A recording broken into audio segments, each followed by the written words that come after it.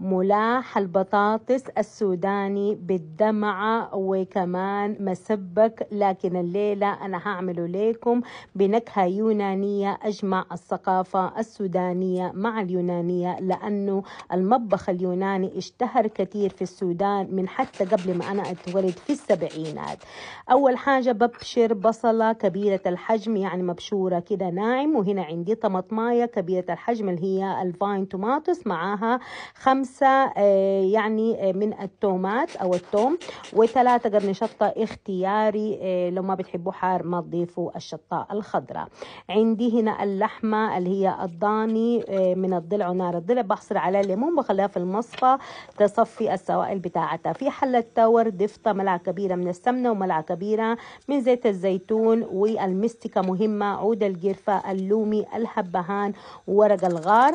بسخنهم كده وهنا صفيت يعني السوائل وبصدم اللحمة بحمرها لحد ما تغير اللون بتاعها تماما. وبعد ما غيرت اللون بتاعها ببتدي تنزل السوائل بضيف البصلة المبشورة.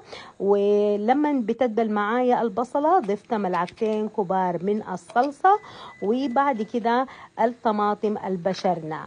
وهنا البهارات حتكون الملح على ذوقكم. ملعقة كبيرة ملح ملعقة كبيرة من الفلفل الأسود ملعقة كبيرة من بابريكا ملعقة كبيرة من البهار اليوناني أوريغانو.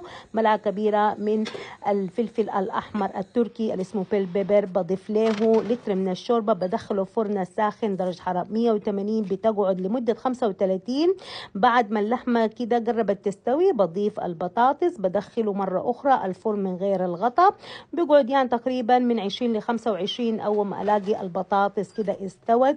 وده ملاح البطاطس بالدمعة السوداني واليوناني. وتعلمنا كثير من اليونانيين. وإن شاء الله الفيديو ده يطلع explore ويصل المليون ويعجبكم الوصفة.